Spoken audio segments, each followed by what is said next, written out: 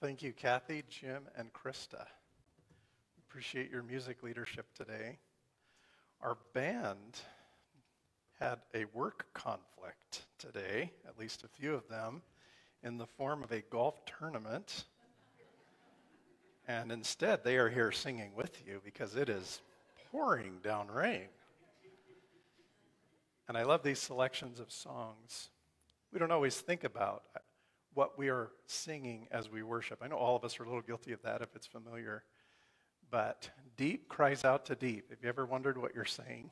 One place that's found in the Bible is Psalm 42, where the psalmist says, As the deer pants for the water. And he's lamenting. He's talking about how he longs to be in worship with people again, and he's mourning. And then in verse 7, he says, Deep cries out to deep. Don't we all need for the Holy Spirit to help us in our expression of our heart? Only the Lord knows how to speak to us in our most difficult places, in our broken places, in the places where we lament, as well as in the places of our celebration. It's good to worship. It's good just to be in God's presence. I want to invite you to turn with the Bible to the book of Acts. Aha, they, they're saying. The book of Acts again. You thought I was finished with this series on the book of Acts, but here we go. We've been in a longer process as a church, in case some of you are not aware, thinking about the future of our church. And last weekend we had a significant gathering of our church all day on Saturday. And if you don't believe in miracles, we filled our fellowship hall all day on a Saturday, the first Saturday of the summer season, basically. And it was a really valuable time of processing together, hearing from one another, asking the Lord to direct us. And so soon, just to give you an update, soon we will begin to see the draft of an actual vision statement.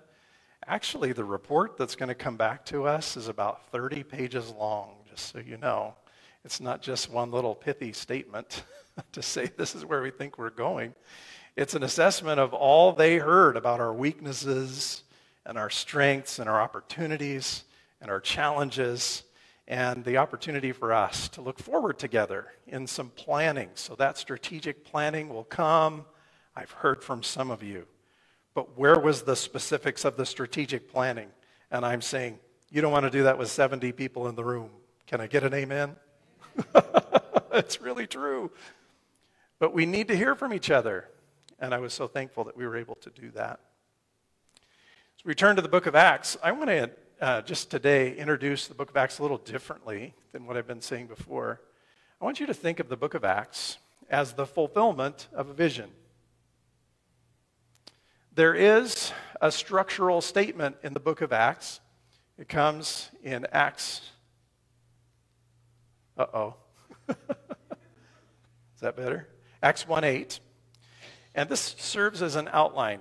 You remember Luke wrote the book of Acts. He's very detailed, he's a historian. He wants to present things in ways we'll understand. So he actually gives you a three part outline of what's going to happen for the rest of the book of Acts. Jesus says, the resurrected Christ, to his disciples, he says, You're going to be my witnesses. And then it's geographical from there. And that's how the book of Acts is laid out. I don't know if you're aware of that. But he's talking about being witnesses first where they're at in Jerusalem, and then in the surrounding areas in Judea and Samaria, and then to the ends of the earth. And this actually forms a structure. Uh, there's a basic timeline for the resurrection of Christ to the death of Paul. But just to set this so we can get this in our minds, because as we think about a vision, as we think about what God has said to us and how we're going to fulfill that, I want us to keep our eye on Scripture. This is actually a picture of what it looked like in that time period in their generation for fulfilling this vision that God had given them. It's a fascinating read, this book of Acts. It's incredible what happened in just 30 some years as you begin to think about how they went from just a group, um, perhaps of hundreds, to a group of tens of thousands, literally, within 30 years. God was very busy. Starts in Jerusalem. That's Acts 1 through 8. A couple significant things happen. God's preparing the church and God's creating the church. You read about Peter and you read about Stephen and their ministries together and his martyrdom. And then it expands to the Judea and Samaria part. That's in Acts 9 through 12. I'm giving you some context for what I want to talk about here today. We see Philip preaching. We see uh, Paul's conversion, which becomes really significant for the rest of Acts. Uh, Cornelius is converted, and that's really important because, of all things, Cornelius is a Gentile. I'm telling you, this was earth shattering for this church. It caused all kinds of ruckus. It caused all kinds of, wait a minute, the church is changing. What do you mean? The Gentiles are welcome too. And what's that going to mean for us? We see the first missionary journey with Paul and Barnabas, good old Barnabas. We talked about him a couple weeks ago. Paul and Barnabas go through Asia Minor and they begin to uh, plant churches and they begin to share this news. And then it extends to the ends of the earth and the rest of the book of Acts. We see the rest of Paul's missionary journeys. Some think of his going to Rome as his fourth missionary journey. He simply, he certainly had converts there. But you know he didn't go to Rome on his own terms, right? We learned in Romans 1 that Paul always wanted to go to Rome. He had planned to go to Rome many times, he writes them, but he was always prevented from doing so. Paul ends up going at the end of his life to Rome to be executed. And all the way through, he still has this vision that he's going to be a witness of Jesus even in his chains. And so we have some of his letters that he wrote from even being in those kind of circumstances. The Jerusalem Council is a glorified committee meeting. You got to love Acts chapter 15, right? You love committee meetings? They got together. some of you are really not sure about that. It's true. It's a recorded business meeting in Acts chapter 15. But it's fascinating. They heard from everyone. They didn't draw on apostolic authority to say, yeah, that's the way it's going to be. They all heard each other. And then it says, after much discussion. It's one of my favorite phrases in the book of Acts. It's such an understatement. If you're a pastor, you get that, right? After much discussion. This is a really wise recording clerk, right, of this committee. Let's not put in all the details in the minutes, okay? After much discussion, it seemed good to the Spirit and to us. And it lays out for them what the church is going to look like moving forward. And actually, it has some really tight moral parameters about sexual immorality and some other things. Did you know that? They're talking about what it looks like for the gospel to go into the culture without the culture changing the gospel. What parts of a vision being fulfilled can change, and what parts have to always stay the same? And they wrestle through that. And I'm going to say that they even fight as a church. I mean, I'm reading between the lines, but there's disagreement in the book of Acts about these things. And that's why we need the Holy Spirit to lead us, wouldn't you say? I mean, more than anything, we want God's vision for us, God's strategic plans, God's initiative to move forward. And so today I'm just going to kind of talk more about vision. I'm going to center from Acts 16 to 18. I'm just going to bring out some bits. I want to give you some encouragement of what it looks like as a church when we're fulfilling a vision from this picture of Acts. You know, we sat for several hours last weekend. We talked about vision. I'm going to share a couple things that rose to the surface for me. And there is, like I say, there's a statement being drafted. You notice that Acts 1:8 is geographical. I also want you to know that it's cultural. In fact, I think that's more important than the geography. Luke is laying out the organization of the book of Acts for us to understand, just like he did with the Gospel of Luke. It's very orderly. He writes to set out an orderly account. He wants them to know what happened in the life of Jesus. And as soon as Christ is resurrected through the death of Paul, by the way, are you all Bible nerds? You're saying no because you don't want me to keep going. I can see that. I can see your faces. Acts and Luke used to be one book. It has been separated in our canon, but it used to be one book. It's all one history of the work of Christ. Did you know that? Acts was never a label Luke anyway. I'm just saying, this is the continuation of Jesus' work. And it's organized geographically, but it's organized culturally. The culture between Jerusalem to Judea Samaria was significant. There were incredible barriers for them to overcome. What, what do you mean we're going to suddenly let in all these people who are different than we are? We thought that Jesus, from a Jewish background, what that meant was Yes, we're going to be followers of Christ because he's the fulfillment of all this Old Testament, and we understand that. And of course, we're going to keep all of the law of the Old Testament. What does it mean to suddenly do what we're doing with integrity and change at the same time? And so, like I said, Cornelius and this vision that Peter has of all people, uh, that suddenly all these things are permissible and they meet together and they have this decision about it. Well, I just want to point this out. As I was thinking about that from the book of Acts, I was thinking about our vision day last Saturday. Something that came out over and over and over in our vision. I'm sure you're going to see it in there. I'm sure I'm going to see it in there. The Genesis group is working on it. Our vision task force will see it, blah, blah, blah. We will see this emphasis on growing young. Did you hear that a lot on Saturday? Teresa mentioned it as well. We care about younger generations. We do not want to age out as a church. And that means that every one of us, regardless of our station, have something to contribute to the next generation. And I love that because as we mature, we realize life isn't just about me anymore, right? Life is about investing outside of me. That's not easy because I can be so comfortable in Jerusalem. I can be so comfortable in my bubble. I can be so comfortable in my tradition and the way I like to do things.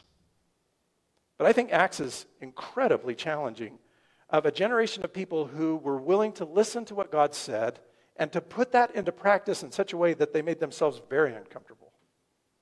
Generational. If our vision will be anything, it'll be a cross cultural experience. You've heard of the generation gap, right? Do you believe generation gaps are significant? Do you believe that they're real? We had one young adult at every table, and they spoke a lot, and I love that, appreciate that. And I could tell that from our young adults, the generation gap is real. And I have to tell you, that's kind of hard for me to hear. I've been hearing it for a couple of years, so I was ready for it, right? But when I first started hearing it, do you remember we did the Millennials, Gen Xers workshop thing a few years ago? When I was hearing all that, I was like, what? I'm cool. I'm still young. What do you mean? I mean, uh, it begins with awareness. Am I right? I'm not young anymore. not, by, not by many people's eyes and I have to mature and I have to get outside of myself. And I think that that is what the Acts, the Acts church went through as well. Is to say, what do you mean the church may not look like what it looked like yesterday? And I think it would have been harder for them, frankly, because, you know, Jesus was there, right? Jesus went to Jerusalem and celebrated the Passover, right? John says he was there at least three times during his public ministry. We know that this was part of it. We know that he memorized scripture. The Torah was important to him. We know all that stuff. Imagine the cultural shift in the book of Acts. And what I'm saying is that kind of a shift is biblical. You know it? What should you expect when fulfilling a vision of God? It's going to be a vision that's bigger than what we can do, and it might be bigger than what we like. And aren't you glad that I'm not trying to act young when I'm not? What our young adults have said a few years uh, running now is what we really want, Ken, is for your generation to know us, to hear us, to listen to us, to know that the Holy Spirit speaks through us as well. And heaven forbid you get up there and start acting young with skinny jeans and, and a big beard, whatever else. You don't need it. We don't want it. We can see right through that. And I appreciate that very much. We talked about outreach and impact. We talked about getting outside of ourselves as a church. And you want to talk about a culture shift. I came from outside of the church and came into the church without any background of Sunday school and where anything is in the Bible and everything else. And so I understand that culture a lot better than this growing young thing because, you know, none of us grew up knowing the younger generation. Does that make sense? Every generation's had to go through this stuff of learning, of learning, of learning. I heard about a mom who texted her son. She texted her son and said, Son, what does IDK, ILY, and TTYL mean? And the son replied back, I don't know. you know where this is going. I love you. Talk to you later. And of course, the mom replied, Okay, don't worry about it. I'll ask your sister. and I love you too. And if you didn't get that, nudge your neighbor. They'll tell you what that's really all about. I want us to think of ourselves as missionaries. I want us to think of our church as missional. You don't have to go overseas to have that mindset. When we know that we're on mission, we're willing to do things that make us uncomfortable. Our speaker at the Friends Church Multiplication Conference was an elderly person. He was probably in his 70s, sorry. He, he was older than I am, okay? And he described a time when he was on a short term mission in Africa. And he said that in that service, for one thing, it was very different for him and uncomfortable because they went two to three hours for a worship service. And when they took an offering, they played music, and everyone made their way down the aisle in the front and placed the gift at the altar. But the thing is, they danced while they did it. And everybody was rhythming and making noise, and that was what he was saying. He was raised Nazarene. He didn't know how to dance. All that he knew about dancing was from the 70s. You pointed your finger and things like that. Had no idea what to do. But because he was on mission, he went down the aisle dancing as well as he could. And in reflecting on that experience, just can't get that out of my head, his description of that. He said, when we're on mission, we're willing to be uncomfortable. When we're not on mission, it just feels like a problem, right? It feels like an issue that we need to have a committee meeting about. it doesn't feel like something that I'm doing for the Lord. It doesn't feel like something that I'm doing for someone else. And the book of Acts is about a group of people who understand this vision that they are to be Christ's witnesses in every place that they are and among every different kind of people that they are. I'm excited for the vision. Looking forward to what happens next. We don't have the nuts and bolts yet, it'll take some time. But let me offer some encouragements about what I hope we can expect. Are you ready? These won't be what you expect, but this is what's here in the book of Acts. Um, by the way, Acts 16 to 18 is the launching of the second missionary journey in that history I just gave you. Here's what happens this is the introduction to, are you ready? This is the introduction to the second missionary journey. This is a big moment, right? Bible history folks, you know this. This is a big deal, right? Here it is. Sometime later, Paul said to Barnabas, Let's go back to visit the brothers in all the towns where we preach the word of the Lord and see how they're doing. So, the first missionary journey, he and Barnabas went throughout Asia Minor. They planted churches. His idea for a second missionary journey regroup, let's go back and check on all those churches.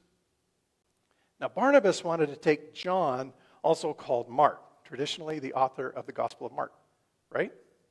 Pretty important person in, in the whole scope of the Bible. Barnabas wanted to take John with them, but Paul did not think it wise to take him because he had deserted them in Pamphylia. Wait a minute, wait a minute. Does this kind of stuff happen in the first century? I mean, I want our church to be the first century church. Oh, you mean the church where people desert other people in the middle of the mission? Yeah, that, that one. There's problems in the first century church. Deserted them in Pamphylia and had not continued with them in the work. If you're surprised by that, get this. Paul and Barnabas, do you remember? There are two heroes. Paul and Barnabas had such a sharp disagreement, and the word sharp is an emphatic description of the kind of disagreement that our heroes had with each other. They had such a sharp disagreement that they parted company. Barnabas took Mark and sailed for Cyprus. But Paul chose Silas and left, and later he picked up Timothy, the one that he was mentoring, right? We all have to have a Barnabas and we all have to have a Timothy.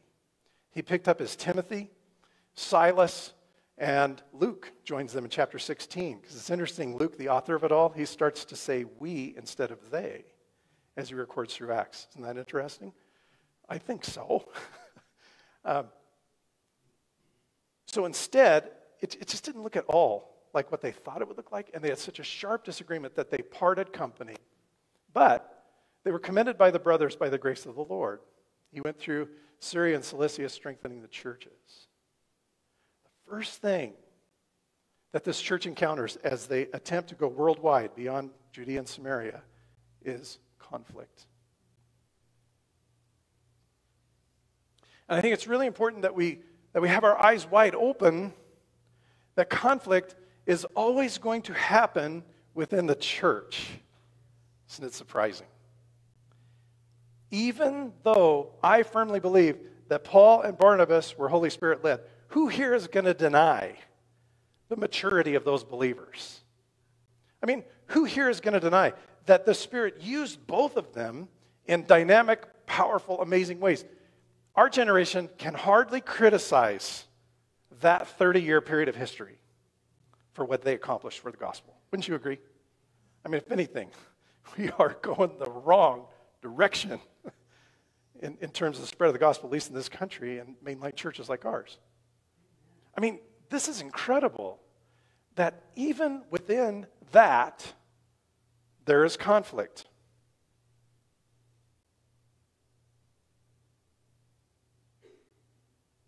Ken, why would you bring that up? I mean, that's so negative. I bring it up because it's what's here, it's what's in the Bible. And I'm bringing it as an encouragement because it doesn't stop the Holy Spirit from doing what the Holy Spirit can do. The thing I notice about these two mature believers is that they bless each other and they go different ways. This isn't this isn't the picture that we would expect. This happens in churches, doesn't it? This isn't the picture that we expect. It's, it's not what we hope for, it's not what we plan on.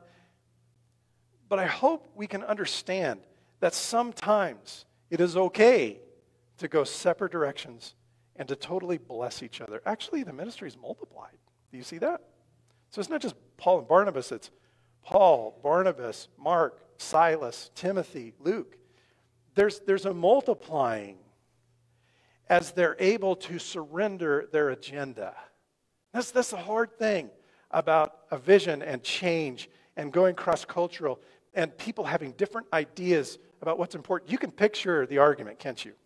The sharp, I call it an argument because it's a sharp disagreement in the Greek. It's an argument. I can picture it. You remember Paul, the persecutor of Christians, and the disciples wouldn't trust him? Who was the only person that believed in him? It was Barnabas. Yeah, there was Ananias, but Barnabas. Barnabas is the one who commended Paul to those disciples and said, Trust me, he's genuine, he's for real, you can believe him. And because of that, Paul has this incredible ministry in Troas. I mean, think about that. You can picture Barnabas, and, and then there's Paul. Paul's like this natural leader with a big personality he's not necessarily the encourager in my mind. As I read between the lines of the pages of Scripture, the mission is everything. And so Paul is saying, look, we can't compromise. We couldn't count on him back in Pamphylia. He deserted us. We don't know why, if it was too hard, if he was homesick, or whatever it was. But it almost comes across as if they, he just suddenly wasn't there. And Paul says, we cannot do that. This mission is too important. God has called us, actually, I'll get to it in a second, to Europe. It's a big deal. We can't have a deserter in our ranks. And you can picture Paul firing right back, right? Well, Paul, where would you be if it weren't for me? so let me ask you which one of these two was right? What's interesting to me about the book of Acts is that Luke, who happened to be on one of the teams, does not say. Does not say. And isn't it true that there are times when we have to come to that place to humble ourselves and say, Bless you. Bless you. I don't believe that God calls us to kill each other with arguments as a church and ruin our witness. Bless you. You're going a separate way. And it is one of the hardest things to do. And they do it well. Second surprise. Are you ready? If you get serious about pursuing something that's too hard for you to do, and, and you just want what God wants as a church, as an individual, whatever, you're going to find closed doors. And it's going to surprise you. This little section from uh, Acts 16 is one of my favorite sections. And I kept thinking about Acts 16 all through the pandemic when we'd like make these plans. None of those plans happened. So we'd make those plans.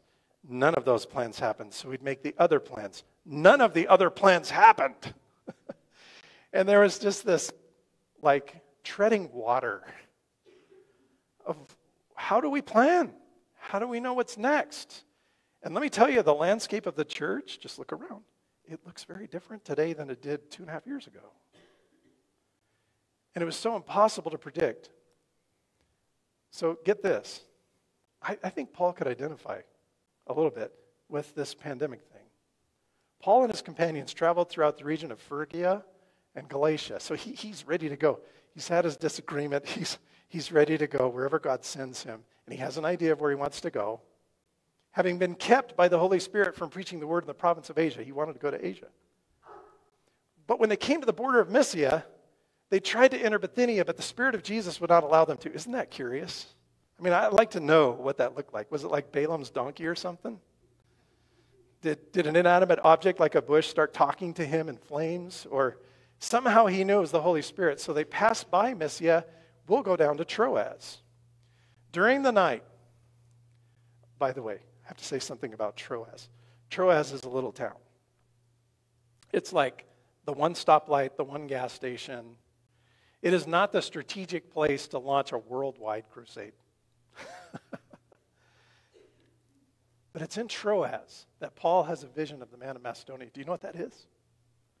That is what Paul needed. So that's modern day Greece. That's in Europe. This is, this is the launching of the church beyond the borders, even of what Paul expected. You mean, really? It's unexpected. But isn't it true that sometimes God has to take us down to Troas to hear his voice? How do you handle Troas in your life?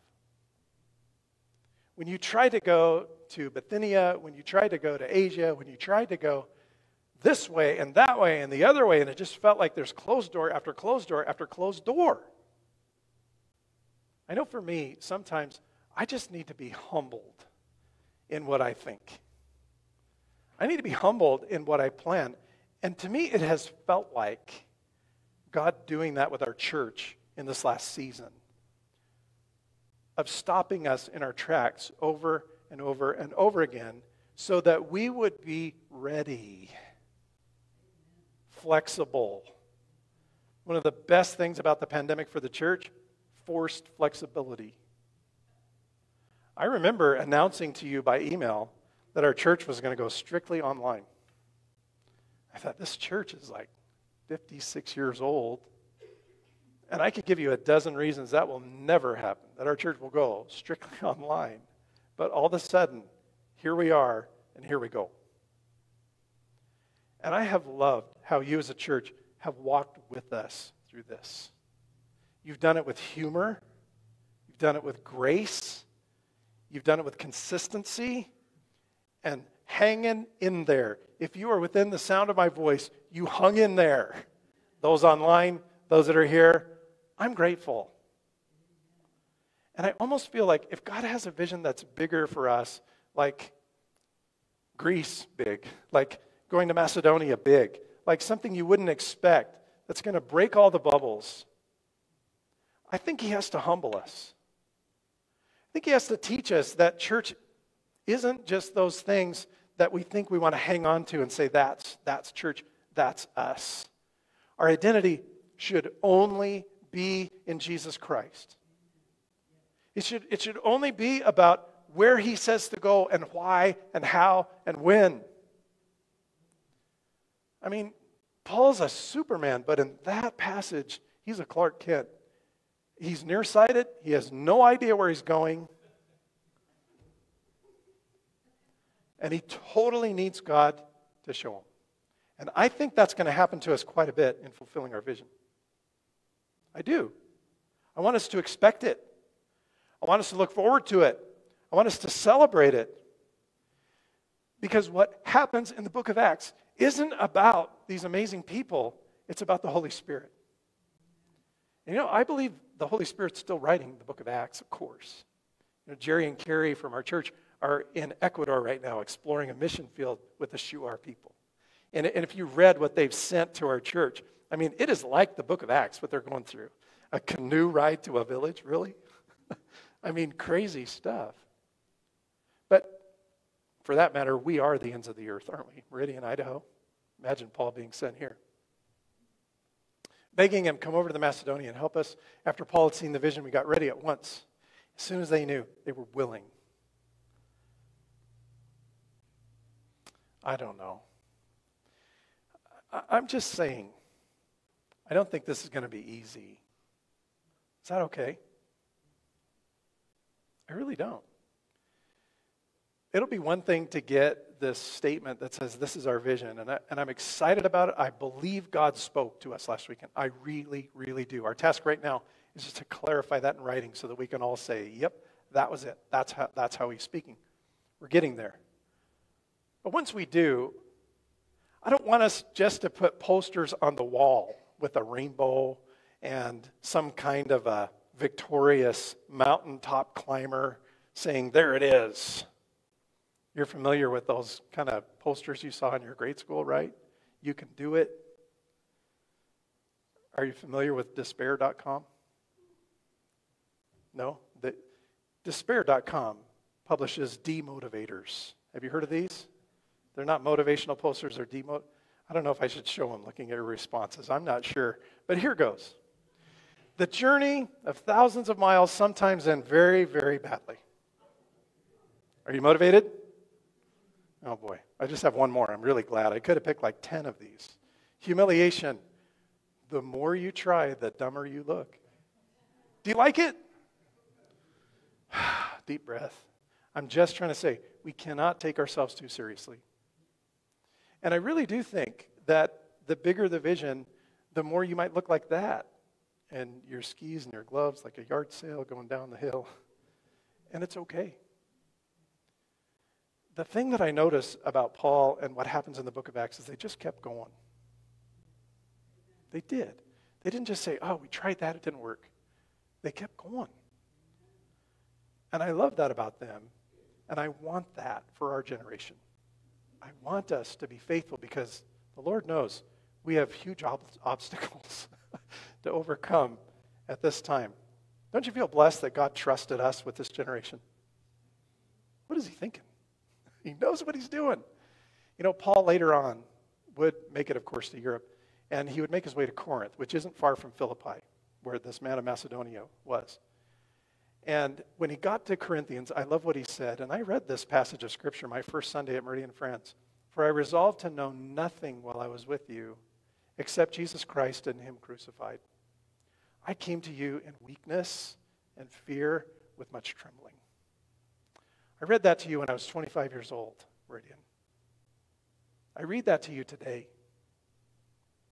I want a vision that's bigger than my ability or my background or my understanding or your ability or your background or your understanding. We need to come into this with fear and trembling. Not pretending to know things we do not know, but only knowing Jesus. And in fact, being willing to lay ourselves down. Being willing for God to close doors, being willing for God to say no, being willing for God to humble us, to prepare us for what He has. This has to be our mindset. Last thing that I'm sure will encourage you conflict at closed doors on a rainy Sunday. What could be better? This is better than the fairways, don't you think? the painful answer. Paul is surprised by common people. Would you nudge somebody next to you and say, You're a common person? Would you please? I didn't leave myself a lot of time to talk about it, but that is exactly what Paul finds when he finally starts this huge second missionary journey and this vision of a man of Macedonia and this incredible fireworks that are about to happen and the church literally going worldwide. The things that the Holy Spirit did in the book of Acts are just profound, they're amazing, they're incredible. But do you remember who the first convert in Europe was? It's Lydia. One of those listening was Lydia, so Paul went down to a river. He couldn't find a synagogue there, and there wasn't one. That was his strategy in mission. He, he was strategic, always. This is how I'm going to accomplish a vision. I'm going to evangelize the city. He wanted to go to Rome because that's like the center of the world, but no dice. He wanted to go this way to Asia. He wanted to go that way. God put him in Philippi. And by the way, that's why Paul could never be a successful baker. It took him three years to Philippi. Incredible, right? So we're saying, I don't get it. I'm not sure I get it. That's not why they're not laughing. Huh? Yeah, okay. So Paul goes to Philippi one of those listening when he was down at the river, so they go to the river because that's the next likely place for religious people to be for cleansing, for baptism. Those who would have been from Jewish descent and had some scriptural background, the strategic place to go, he goes to the river and he finds Lydia from the city of Thyatira. She said, Come and stay at my house, and she persuaded us. It's that persuaded us thing that I get. Look, Lydia was, I just trust me, Lydia was not his strategic target. If you've heard about uh, Saddleback Church and Saddleback Sam, this is not Saddleback Sam, trust me. There's nothing strategic about Lydia. For one thing, she's not from Philippi, she's from Thyatira, she's a foreigner. She is a woman, and in that culture, she did not have influence because of her gender. Thankfully, that has changed. And she's someone who was apparently the head of her household. She was a dealer in purple cloth. She owned a business. And I just want you to know that those ingredients for Paul, those added up to this isn't the person that I'm going to convert this whole city with. I mean, that's just my sense. But I say it because of what's there. She had to persuade him to come eat something with their family. I mean, she prevailed upon him. I'm just saying this wasn't his choice. And do you know what happens in Philippi after that? It's like this huge comedy of errors. Paul goes to preach. So in Acts um, 16 is where all that is. So this is the background of the book of Philippians. Um, so in Acts 16, he's, he's wanting to preach. He starts preaching, and all of a sudden, this teenage girl starts following him and shouting. You remember this? All right, some of you? And she's saying, he, you know, he really is representing the Lord and the, the God of all gods. And, and I love what verse 18 says in Acts 16. It says, She kept this up for many days. Finally, Paul became so annoyed. Can I just say that about the hero Apostle Paul? I know you've never seen a pastor annoyed. This is good. Thankful for that so annoyed that he turned around and said to the Spirit, In the name of Jesus Christ, I command you to come out of her. And at that moment, the Spirit left her. The only reason he healed her is because he was annoyed. She was bad press. This is not strategic. That's his second convert, a teenager that he wanted to get lost. You know what happens after that? Because she had this prophetic gift that other people could make money off of her, they lost their money making potential. So what they do? They threw him in jail. Who's the third convert? The jailer. I mean, does any of this sound really strategic to you? It's remarkable what happens. But Paul just keeps moving forward in faith. I pray that we can do that too. I want to leave us for a moment in silence and invite the Spirit to speak to us individually. You know, some of you may be thinking more in terms of what you're going through in your personal life than what Meridian Friends is trying to do corporately, and that's okay.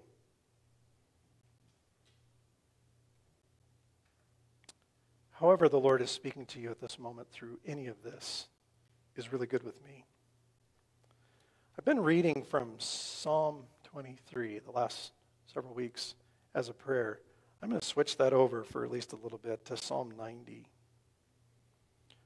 And I think this speaks to our season of waiting right now and looking for God's vision. So let me read these two verses from Psalm 90. My dear friends, Gil and Louise George introduced this phrase to me establish the work of our hands. Isn't that a good prayer for us right now? I really think God's shown us a vision. So now it's up to the Lord to establish the work of our hands. And then I'll leave you alone in silence for a minute. Psalm 90, verse 16 and 17. May your deeds, Meridian friends, be shown to your servants, those whom we are serving, your splendor to their children. May the favor of the Lord our God rest on us. Establish the work of our hands for us. Yes, establish the work of our hands.